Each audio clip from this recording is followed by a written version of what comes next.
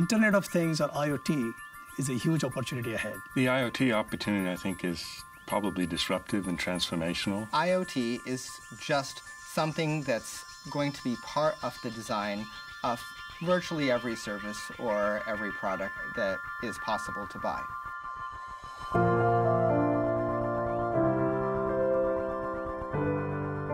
Analysts are predicting between 20 to 25 billion connected devices by the year 2025 to year 2030.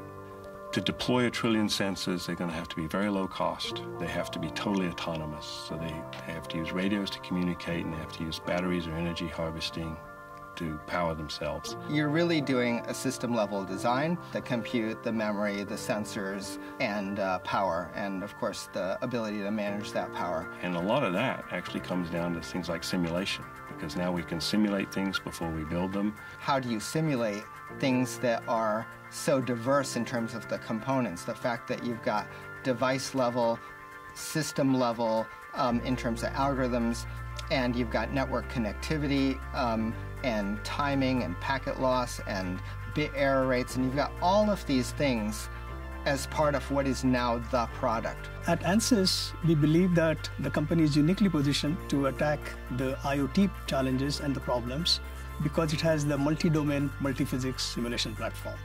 This is the only company which allows a designer to look at multidisciplinary engineering uh, issues such as physical, mechanical, thermal, electronics. The designer is able to now look at thousands of simulations and conditions, operating conditions, to make the product better and optimize his final design to market and design to time.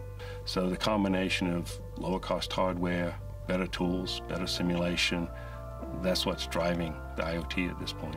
ANSYS simulation platform has levelized the field for all the new entrants. For example, a startup company can start using the simulation and uh, solve the challenges for IoT as well as any incumbent giant companies is able to solve.